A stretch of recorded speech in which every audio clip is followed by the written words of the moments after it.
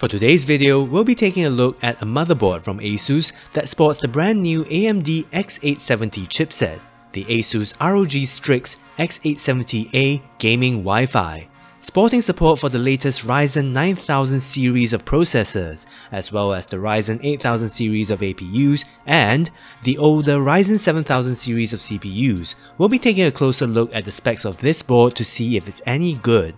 Let's get started. To recap, AMD launched its Zen 5 Ryzen 9000 series of processors a couple of weeks back in August 2024, and it'd be par for the course for new processors to be launched alongside new chipsets and new motherboards. For some reason, AMD's chosen to launch its new 800 series chipsets more than a month after the launch of its Ryzen 9000 CPUs, starting first with the higher-end X870 series the more budget-friendly B800 series of chipsets are only likely to launch sometime in early 2025. As per the table on the screen, which was taken from AMD's website, the X870E and X870 offer minimal differences over the X670E and the X670 which they replace, where the key difference lies in USB 4 support. All boards with the X870E and X870 chipsets come with USB 4 support as standard. To get in on the launch excitement, we'll be taking a look at the ASUS ROG Strix X870A gaming Wi-Fi that, as its name implies, sports the X870 chipset and sits within the ROG Strix series of gaming-oriented motherboard offerings at the higher end where it places below the range-topping ROG Crosshair series and above the TUF Gaming and Prime series of motherboard offerings by ASUS. Now this being a X870 motherboard that is targeted at white colored PC builds, the X870A gaming Wi-Fi comes in a box that sports a white, light grey and silver colorway that looks pretty nice with a smattering of gamer-oriented Republic of Gamers motifs all around. Moving over to the rear of the box, we get the usual summary of specs for this board. We'll take a closer look at these specs later on in this video. On a side note, if you're new to the ALKtech channel, do consider subscribing so as to keep up to date with the latest product releases in the PC hardware world. With that, let's have a look at the contents of the box. First up, we see that the X870A gaming Wi-Fi comes with a white coloured Wi-Fi antenna right here. Let's set aside the board for the moment to see what other accessories ASUS has included with the board.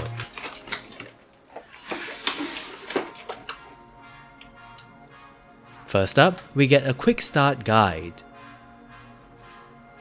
And this is accompanied by an ASUS web storage promotional offer leaflet. We do also get a sheet of ROG stickers right here. And this is rounded off by a packet of accessories.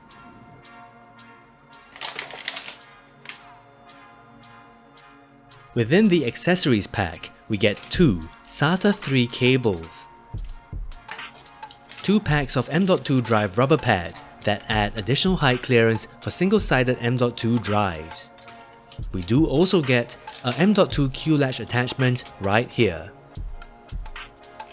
as well as a M.2 Q-slide attachment, a pack of cable ties, as well as a ROG keychain.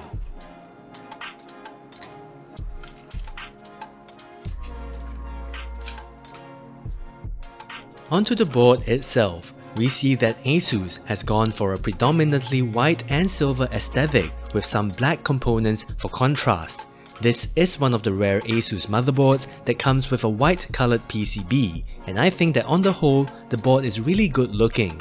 As can be seen, the board comes with an integrated I.O. shield design and has large silver heatsinks all around. Over on the rear of the board, we see that the PCB is coloured in grey and we get a slew of ROG motifs which are a nice touch in spite of the fact that most of these motifs would likely never see the light of day inside of a PC case. The X870A gaming Wi-Fi comes with no shortage of ROG marketing motifs on it. I mean, look at the amount of marketing text that can be found on the board. That aside, the board comes with built-in RGB LEDs that can be found on the cover of the integrated I.O. shield like so.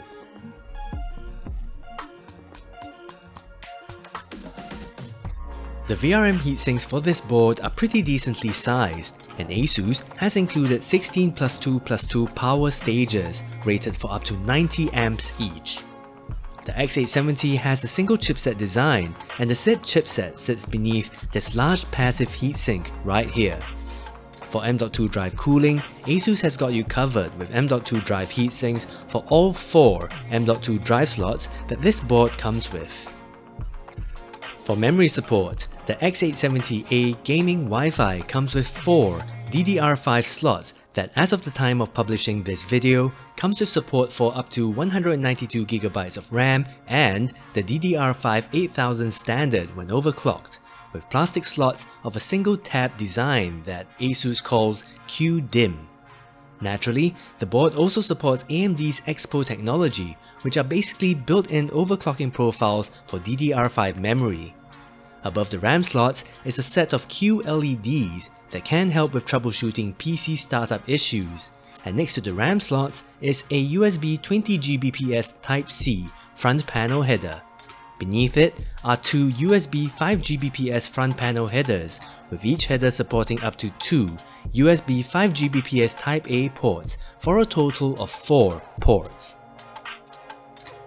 While still on the topic of front panel USB connectivity, the bottom edge of the board houses two USB 2.0 front panel headers, with each header providing support for two USB 2.0 Type-A ports for a total of four ports. Some interesting features to highlight. We get a start button that allows end users to power on the PC, and thermal sensor headers that allow you to connect additional sensors to monitor the temperature of devices within your PC. Next to this is a CPU overvoltage jumper that allows you to set higher CPU voltages for overclocking purposes. And we do also get a PCIe mode switch that allows end users to toggle between PCIe signal speeds that are sent from the CPU. In terms of expansion slots, this board comes with a PCIe 5.0 x16 slot that sports the ASUS Safe Slot feature that reinforces the slot for use with heavy graphics cards. The said slot also has the new Q-Release Slim feature that makes removing a graphics card an even simpler affair. There is no need to release a latch or even push down on a button anymore, all you have to do is pull the card out at a certain angle towards the latch mechanism like so and it will come free. We do also get a full-length PCIe 4.0 x16 slot that operates at X4 mode. Do note that PCIe 5.0 is only supported when you have a Ryzen 9000 series or Ryzen 7000 series processor installed. It's worth noting that the Ryzen 8000 series of APUs only support the PCIe 4.0 standard. In the storage department, ASUS has included two SATA 3 ports, with both ports in a right-angled configuration so as to aid with cable management.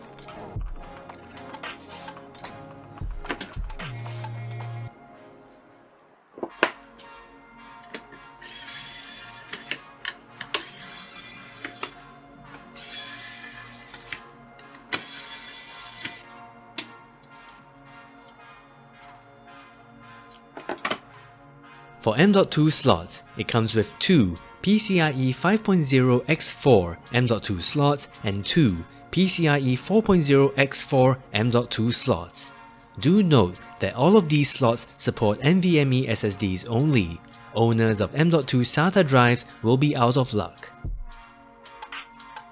That said, the primary PCIe 5.0 x4 M.2 slot comes with a pretty fancy heatsink that comes with a fabric pull tag and it also features the new Q release mechanism where pushing down on this latch here will release the heatsink. The slot also features an improved Q latch feature that makes installing and removing an M.2 drive a breeze, like so.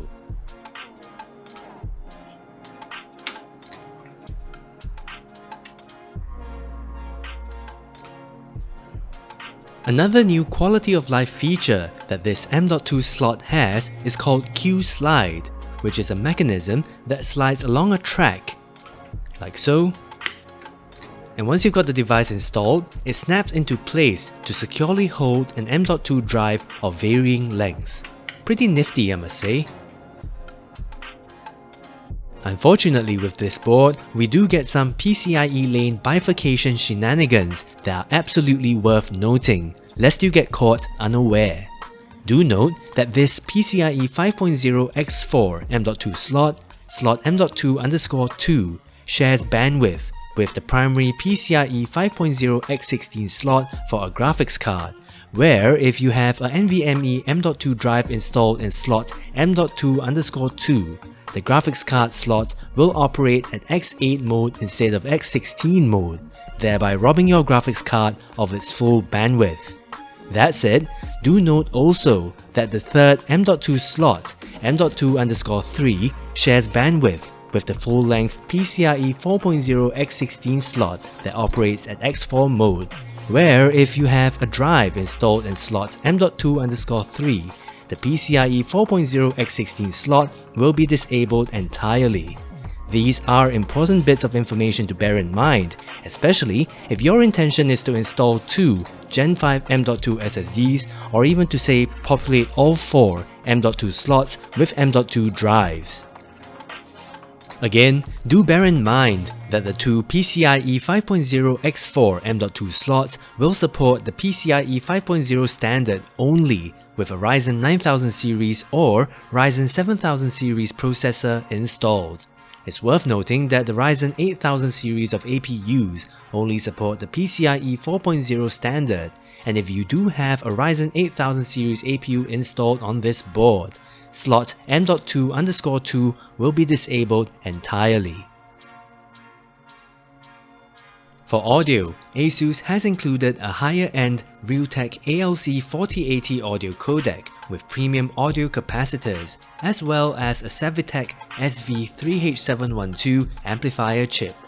Wired internet connectivity is courtesy of an Intel 2.5GB Ethernet chip, while Wi-Fi support is courtesy of a MediaTek MT7925B22M Wi-Fi 7 part, which also serves up Bluetooth 5.4 support. In the cooling and RGB departments, the board comes with 8 fan headers that are located in these regions of the board. Also included are 3 addressable RGB headers located in these areas. Moving over to the rear I.O., the ROG Strix X870A gaming Wi-Fi goes for an integrated I.O. shield design in white.